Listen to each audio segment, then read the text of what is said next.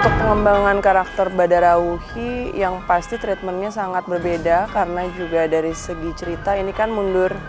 Ada hal yang aku tiga hari deh, ada tiga harian kayak ngobrol lagi untuk ketemu sama si Badarauhi ya. Maksudnya ini bukan bukan klinik atau apa, maksudnya secara project ketemu sama si karakternya gitu. Kayak aku uh, ngobrol lagi sama karakternya, terus kayak hey kita udah kenal sebelumnya gitu.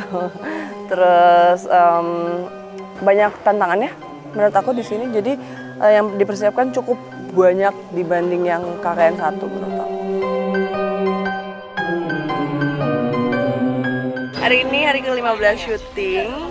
Uh, ini hari yang ditunggu-tunggu karena scene-nya adalah scene berenang di kolam padusan ini bersama ular-ular yang super banyak.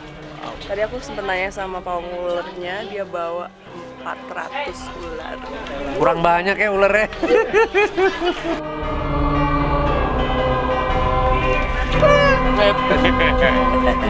Halo teman-teman, kita semua tengah-tengah set Padusan.